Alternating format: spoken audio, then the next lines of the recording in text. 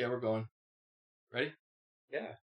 Hey everyone, it's VHS Massacre Radio. I'm your host Tom Seymour, And I'm your other host, Ken Powell. and uh, thanks for joining us on Twitch, on YouTube, on Podbean, and on Stitcher Radio, uh, and iTunes, and other various places. So, for those of you who don't know who we are, or what this show is, um, we created the documentary VHS Massacre, and we've been running a podcast for uh, off and on for about six years. Formerly, we're New York Cinema Radio, but recently, uh, we've just been kind of feeling like um, the sort of VHS era is sort of the way to go. I don't know. Thoughts on that? Yeah, well, I, I think I talked about it before. Like, I, it, it was like a kind of a call to arms, VHS, you know, branding it that. So it allows us to maintain the focus on that while New York City or New York Cinema um, was kind of like a more broader thing. Um, so this allows us to kind of maintain that focus uh, on this VHS, you know, in the, all the cult movies from that area, the B movies. And uh, we need to have like our first guest sometime too. Yes, absolutely. Um, we, you know, we may have um, um, Cat Card, who who was uh, uh, uh, whatever partner to John Gorman, got me into the slime, uh, the slime. Uh, I'm sorry, melt films, the melt genre, the subgenre of horror. Um, not to be busting your chops right now, Yeah. I think your face might be melting a little bit. Yeah, yeah, I know. I think I need a little. I think I need a little of this. Well, I would say like right, right here, right here, right here on this side, Right on this side? there. Yeah, yeah, there you go. You got it. Uh, You got the melting. it's hot in here. Uh, Yeah. anyway, um, yeah. So the melt melt genre is this really uh, fascinating thing. Uh, uh, we actually asked uh, a Facebook question. Um, so I don't know. Maybe you could get into that Facebook question. Yeah, yeah. The Facebook question of the week. It was like, uh, you know, what is your favorite melt film? So it's been a been a hot minute since I did a Facebook question, but Yeah, I didn't Um, know about this genre of melt films until I think it was maybe at not your previous birthday, but the one before that. Whenever I think John Gorman and, and, Cat, yeah, debut, I think maybe Street Trash, Street Trash, yeah, which is the first time I'd ever heard melt films talked about. yeah, Street Trash is is is fantastic. You know, possibly the Cadillac of uh, the melt film genre. Um, so uh, I asked, "What is your favorite melt film?" Uh, Jason West said Street Trash. Um, of course, uh, Cat and John.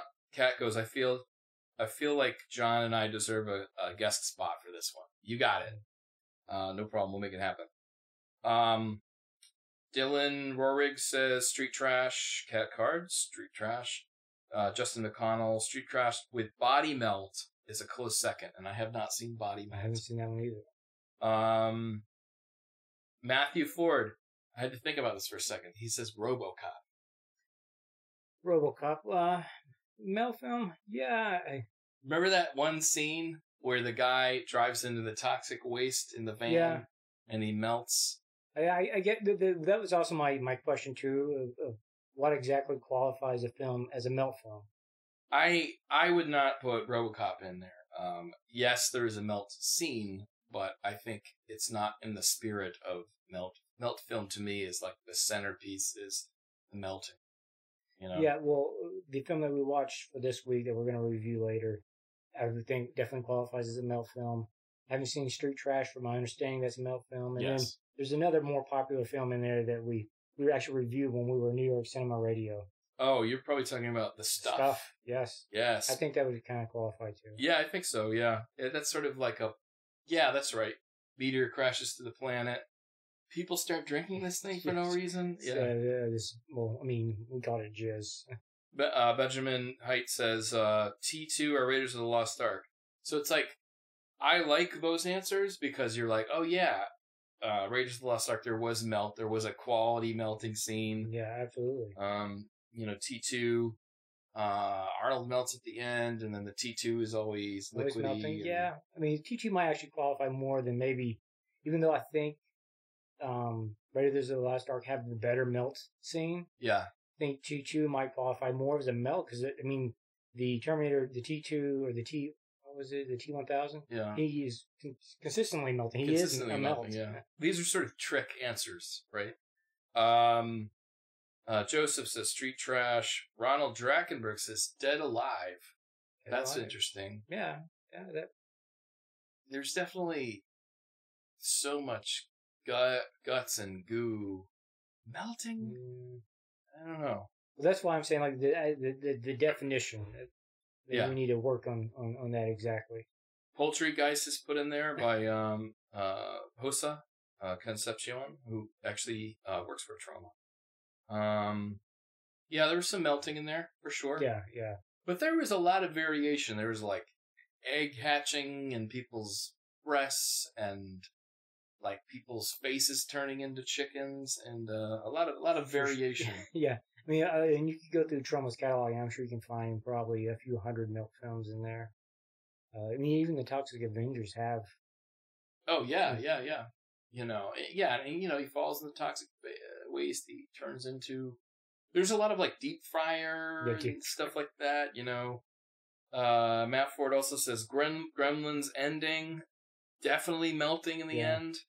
Uh, I think there's like a uh, Wizard of Oz reference in there. Yeah, But yeah, I don't, I don't, because if you're gonna count RoboCop, then you have to count like Wizard of Oz, and Wizard of Oz is not a melt film, so we're so No. it's that's um because we don't want your, you know, like you saying, "Oh, Wizard of Oz is a melt film." It's safe for my children now to watch uh, Slime City, our movie for this week, or Street Trash, or one of these others, because it's definitely not. It's a very tame melt uh, scene compared to some of these other works. yes, and uh so what our movie was um uh, this week was the 1988 melt classic uh Slime City, and uh yeah, so Slime City, you know, do you want to set people up on this or uh Yeah, so it, it starts off here in New York City. Again, like our last four films now have been set here in the city. Uh, and this one architecturally, I it might have been Astoria. Like, like I, I had a hard time placing it exactly, but it definitely is New York because of all the brownstones.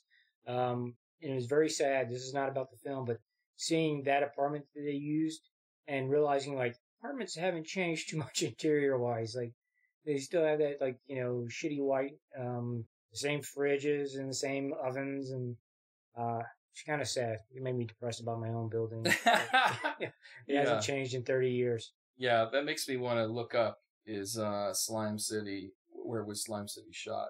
yeah it, all i could find was new york city but i couldn't find a specific location it like i say uh, um the exteriors definitely made me feel like um astoria or or somewhere in brooklyn either one uh, yeah, I, I had for me, I, I it felt like this could have been down the block. So yeah, um, yeah, it just says New York City, sort of gen- general. Yeah. But um, yeah, um, so this is directed by uh, Greg Lamberson, who I think believe I believe has a long history in the melt genre. Um, he did the follow up, um, Slime City Massacre, starting starring uh, a friend of ours, uh, Miss Debbie Rochon um, who we're going to be interviewing on uh, Sunday. Should be really interesting, really cool. Yeah, I guess which would be kind of like the unofficial or official start of VHS Massacre, the sequel. Yep, yep. Yeah. Um, before you know, so for, before I forget, so uh, the cast, right? We have uh, the character Alex, played by uh, Craig Sabin. Uh, Laurie slash Nicole is Mary Huner. T.J. Merrick is Jerry. Uh, Dennis Embry is Roman. Um, Dick Beale is Detective Irish. I looked that name up. I looked at the cast list tonight. I, I chuckled then too when I first looked at Dick Beale. Dick Beale. And I was thinking of Dick Beale whenever I was reading it or something. Um, yeah, but Greg Greg Lamberson, um, that that follow up isn't that old actually. That came out. Um, that was like maybe 10 years ago. Yeah, yeah, 2010. But he's done films that I, you know, that are in the sort of um, if you follow horror, you've heard of like Killer Rat came out in 2015.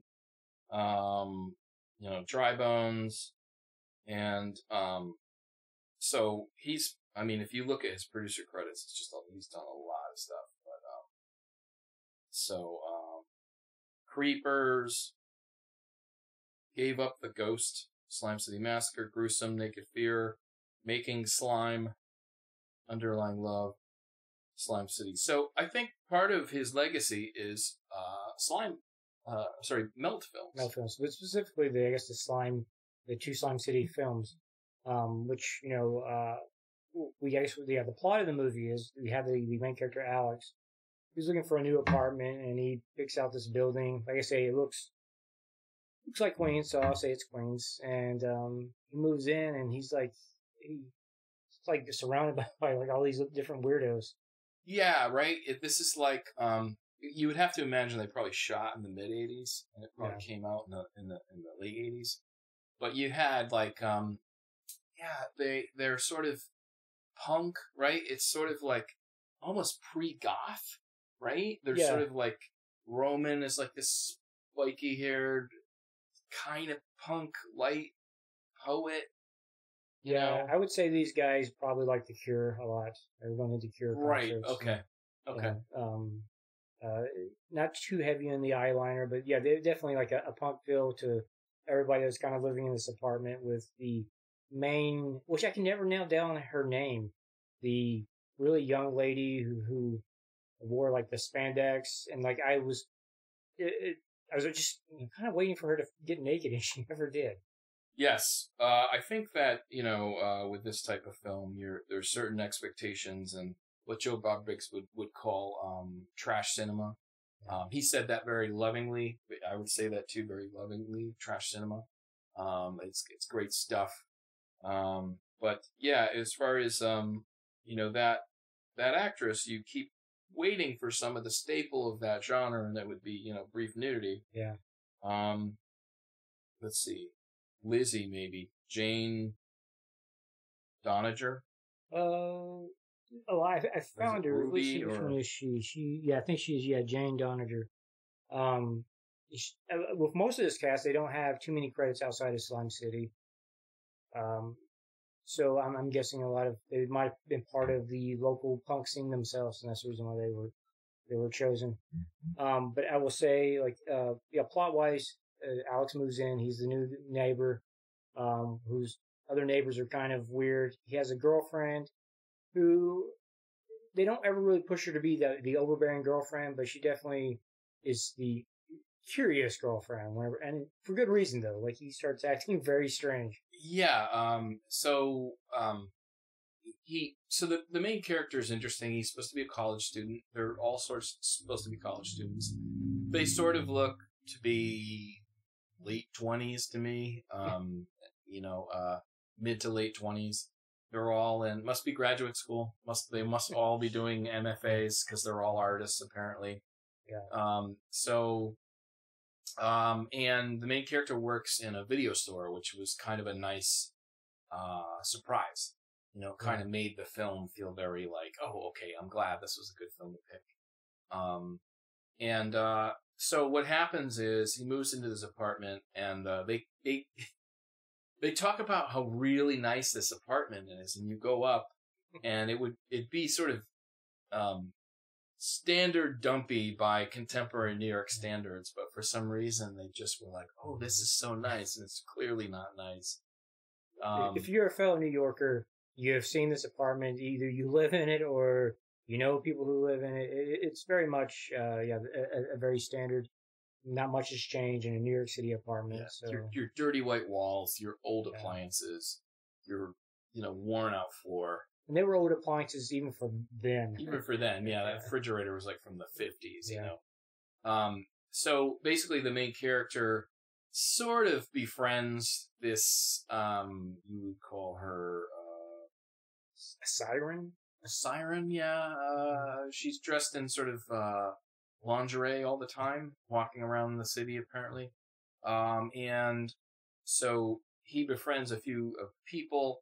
Uh, this one guy, Roman, is like, enjoy this delicious um, pudding. And so Yogurt. yogurt, this delicious, he calls it like some kind of like, I don't know, Tibetan yogurt or something. Himalayan. Himalayan yogurt, right? And so he starts eating it, and he's like, "Oh, this is delicious," and, and then he's like, "Drink this, uh, this wine," and uh, and it's really harsh. And then he wakes up in the morning covered in just disgusting slime. Yeah, like this yellow looking viscous snot stuff. Yeah, and then he he um, I- they never show him jump in the shower. He's just sort of throws on his clothes Yeah. and goes to work. He slowly devolves into this yellow, pustule, melting human being. Uh, he, he has to murder someone and he has, he has the drive and ferocious drive to murder someone. So when he does this, he turns back into a normal human being. But that, that's what turns him back to a human being, right? Or that's why I understood it. Like, Yeah. killing somebody allowed the slime creature to kind of go away. So that's why he had the drive to kill more and more. Yep. And uh, it's slowly revealed that the, uh, the landlord uh, is, and all the tenants are doing this on purpose to any new person that comes in, um, because the slime, I'm sorry, the yogurt is actually protoplasm, which is kind of a cool, cool angle if you're into the whole supernatural thing. You're like, okay, proto- protoplasm, you know, it, you know, it's probably fake, but it's it has precedent if you believe in that supernatural stuff. Uh, so that being said, um, they're doing that in order to channel, uh, have have these spirits possess them, right? So there's this sort of suicide cult in the basement, and uh, these people made this wine and this yogurt, and uh, they had suicide pact, and so um, they're they're now trying to resurrect all their old friends. And so um, the people like Roman and Lizzie are already possessed by the these new spirits, so they're trying to recruit. So it it's um I don't know. I guess it's a it's a you you could say maybe it's a little bit convoluted. Yeah, it, it, it, gets there, but it never, I think, like gets in the way of, you know, it definitely never gets in the way of the, the kills or transformations, like the gore effects. Um, definitely, I think top notch work when you consider like this probably didn't have a huge budget. Uh, I don't think it was made by any huge production company. It was not like a Troma backed film. Uh, any, even a Troma backed film, they, they don't have huge budgets either but some of the gore effects are just amazing, especially at the end whenever you have um I can't remember her name, but uh, Alex's girlfriend. He, she's trying to fight him off, and just a lot of top notch stuff um, throughout the scene of like you know um, limbs getting chopped off, his head is chopped off. Uh, I don't go too farther, I guess, to, to spoil if anybody wants to watch it, but uh, the, a lot of the best gore effects are done in that last you know 10, Yeah. 15 minutes of the movie. Yeah, it really does sort of uh, sell you at the end uh, in regard to uh, the, the gore. You know, she even cuts a brain up at the end. That brain was impressive. Like, like, yeah, yeah, um, yeah, and and man, that that shade of yellow, like what I, you know, they just they nailed it as far as like that, like infected, hussy yellow. Like it, it it's very unsettling. Like when the the person begins to melt.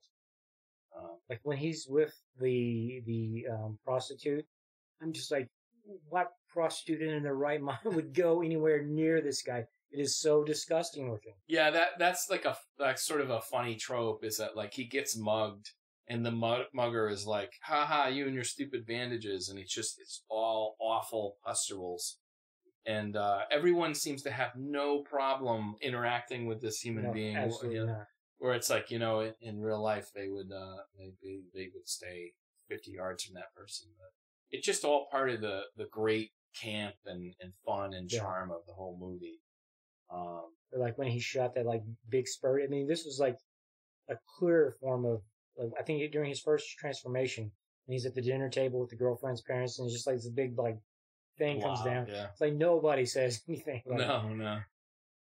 Um, yeah, so it was pretty interesting. Um, you know, it, you know, they even um bothered to to move into color theory a little bit. You know, as as the movie goes along, his clothes start to change a little. He's wearing darker colors. He's turning more into like whatever Lizzie or Roman, which are always wearing black and things like that. So they, you know, um, well, you know, like you're saying, great, great horror effects. And so, you know, what you're seeing is like very typical interiors of New York apartments, which most are just, you have your standard ugly white walls and, um, sort of, you know, uh, furniture that's not particularly impressive. So I guess the, but the thing is, that's New York, you know. So Yeah. it's not a criticism. That's just kind of how it is, especially in the mid to late '80s. I'm not, you know, New York was not, you know, whatever Giulianiified, right? Uh, Yeah. So you know, it was still a fairly dangerous place to live, and uh, you know, so I think it it works with uh, the Yeah, whole film works. They're also college students, so it makes sense that you know the apartment's a little bit more sparse in terms of you know things that they have and things look secondhand or third hand use. Um, so it definitely fits in.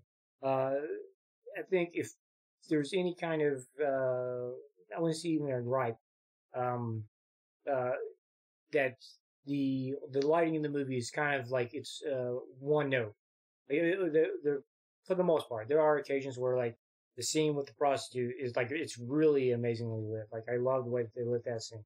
But some of the other scenes, it's kind of like you can see that uh, on a smaller budget movie, you kind of like have to you know throw light everywhere you can, just so that you make sure that everything is seen, and then kind of move on to the next one. yeah, So it's not even like a huge gripe, but it's if if you were like a a, a film critic picking apart like little things like oh this and that, that might have been my only little gripe. Yeah, but I know you mean though. There there are scenes that are excellent, like as far as the lighting.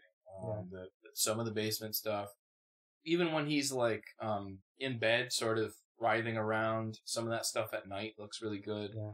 Um, so it's like when the lighting is good, you really notice. Oh, this is really nice, and then and then some some light, you know, some light, like you said, is just sort of plain, you know. Um, I mean that's that's something I struggled with, like when I was doing um, some of those uh, cheap horror movies I was doing. Yeah. Was that um, you know we're shooting in like ten days, so like you had to, you know, we have eight pages of dialogue to get through, you know, so you you throw up a couple lights, bounce them off the wall, and you you get shooting, you know. Yeah.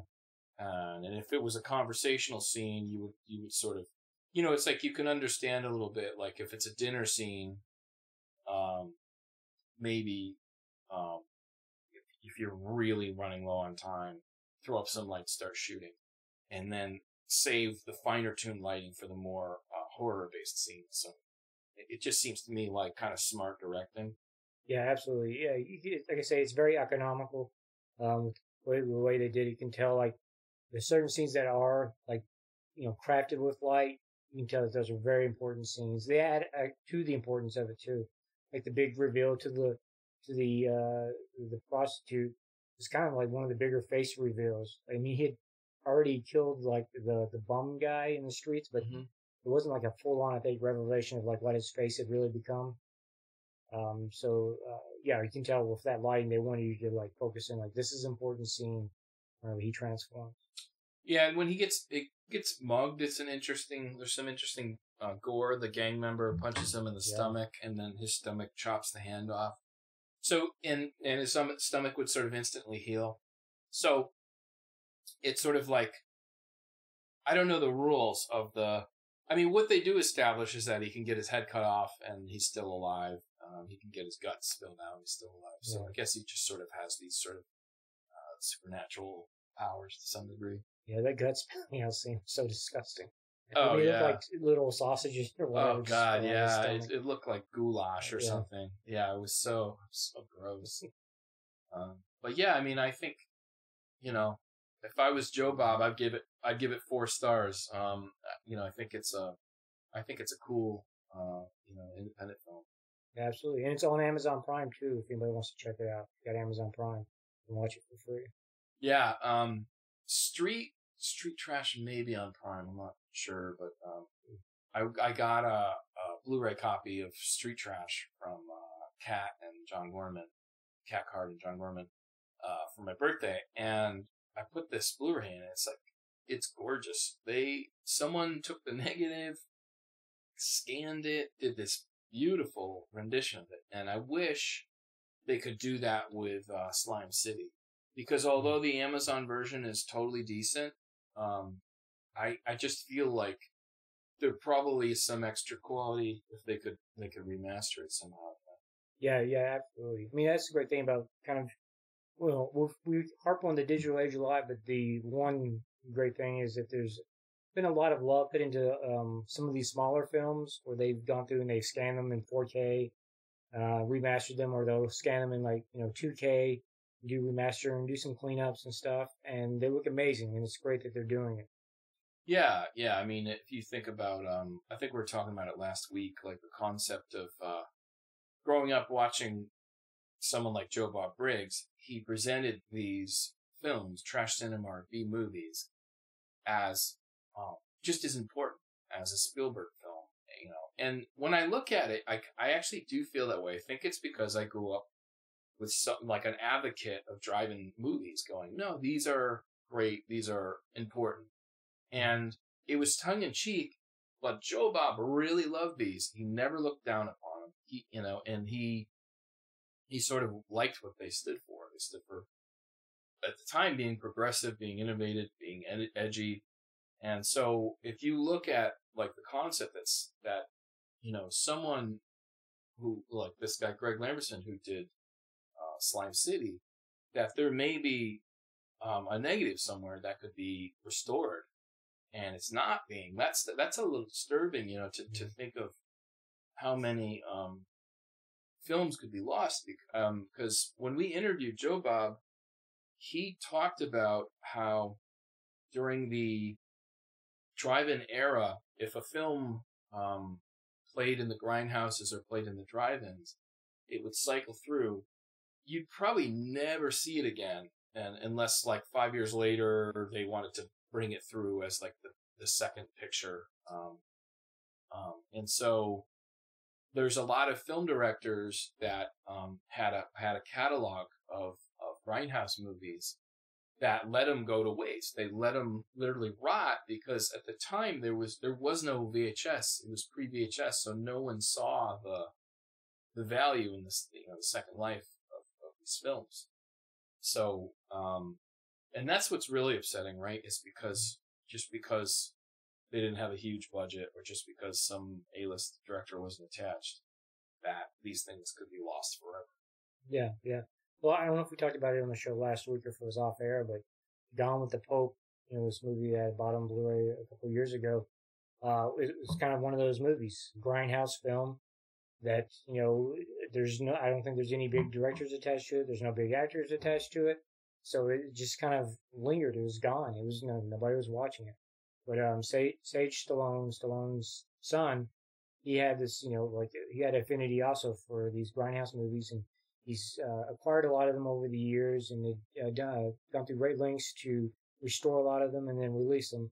Fortunately he passed away a few years ago but um uh, Gone with the Pope was one of his last works that he put out there, and like that would be a movie that could easily have fallen through the cracks if it wasn't for you know just one person, yeah. just one company. You know, so um, it's it's there's that's a very important role. People like Joe Bob or Sage Stallone, or I mean, you know, maybe in a small part what we're doing also to to um, make people aware of some of these films, and uh, you know, don't let them disappear because they're they all all films I believe truly have merit.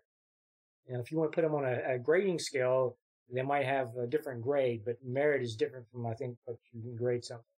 Yeah, I mean they're all forms of art, and you can, uh, yeah, you can you can assign them with different value based upon you know, you know where you are in society. But um, I always thought it was strange, um, and I still believe this is true, that movies, the way people talk about movies is just different than the way they talk about other forms of art like sure people criticize um, art installments and oil painting and photography and do shit on them but um, i just think it's rarely in the same way um, i think um, because these movies you know so sort of people take ownership of them and they feel like they're part of them or they're like i wish it was this i wish it was that um, um and then too, they'll like. I mean, I remember Uwe Boll was doing movies, and people were like campaigning to have him stop directing, things like that. So, um, there's just it's a film I think is treated in a kind of a bizarre way. Um, that's not quite like other forms of art. Well, I don't think it's very often you'd hear somebody tell an artist to stop painting, stop drawing, stop making sculptures. Um, I mean, it probably has happened, but it's not like often. It's not like, um, like you said with Boll or, or Michael Bay. I mean, Michael Bay is a different type. I mean, like, there's, let's say, like I enjoy his films, but I don't think like he should be stopped from making his films just because a lot of people don't like them. A lot of people do like them, or they're still like nobody's forcing the this this art on anybody. Like so, hmm. you know, if you don't like the director, watch the guy that you do like, and let the other guy keep making the films for the people that do like him. Um, yeah, um, yes, it's like you know, even you know, like with Joe Bob Briggs, as far as like his twenty four hour marathon, he, you know, he he's speaking his mind. He's super funny when he does his sort of interstitials. I call them like uh, between the, the movies. Mm-hmm. Uh, you know, it's almost like stand up comedy. Um, oh, so yeah. a lot of the stuff is is just sort of he's got this sort of like Texas perspective, and I, I actually found it really refreshing. I think he just speaks his mind clearly. He's a tolerant, kind person, but he just doesn't speak in like politically correct code, you know. Um, and I know that's like sort of a trigger word these days, but um, well, with like Sleepaway Camp, there's all kinds of landmines that he could have.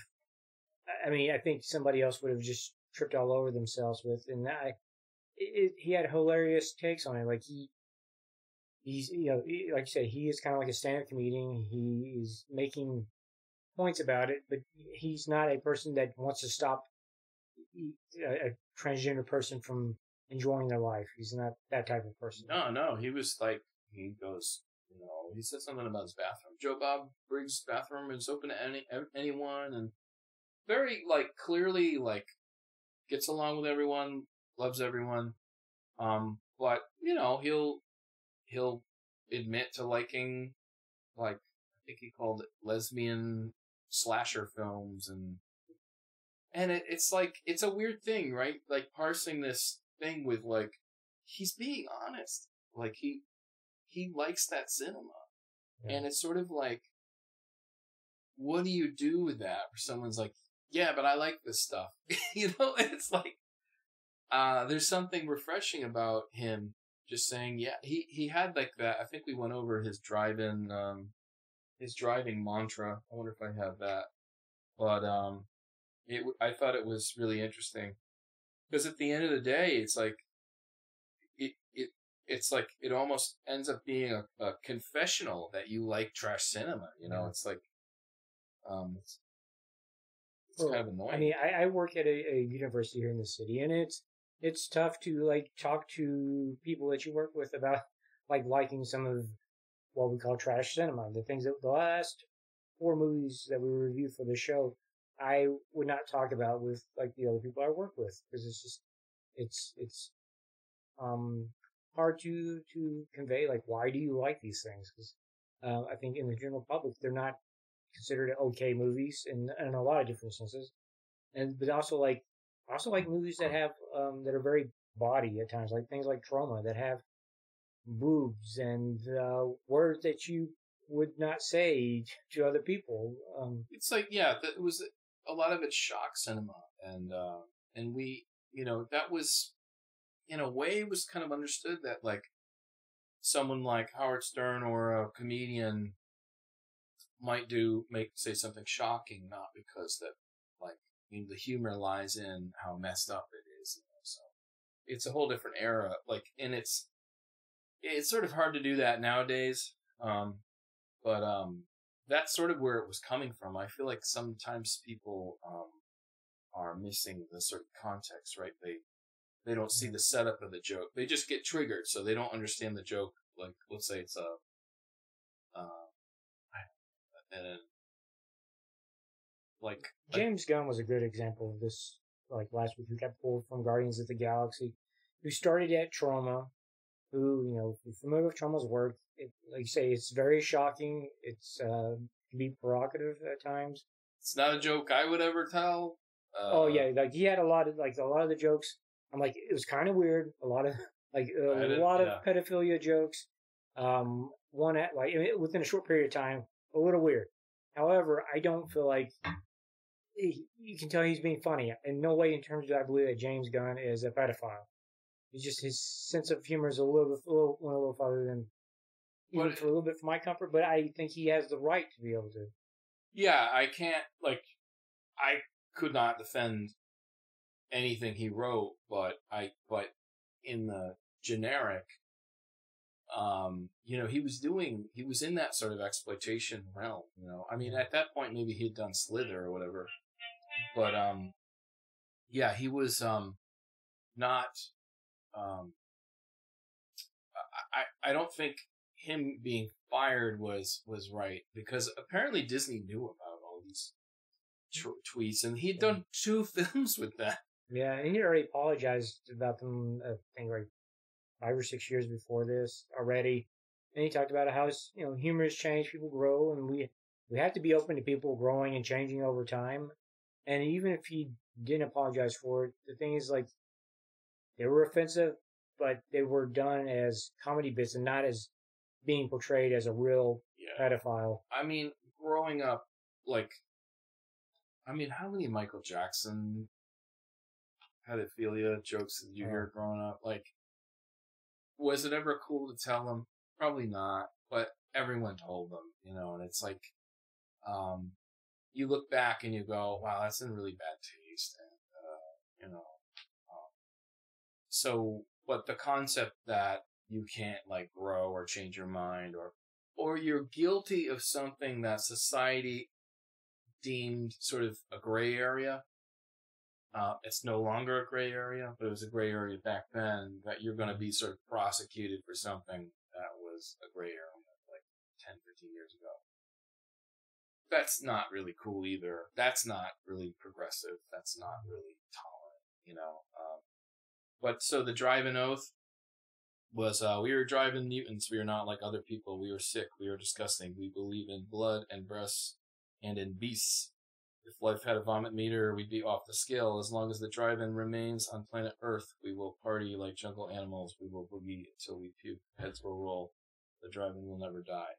And I, I, uh, I think I mentioned this last week, but I thought, you know, it's like it's an oath, but um, that's just so bizarre that you have to sort of like, um, that's weird. Like that, it's almost like confessional that you like this stuff.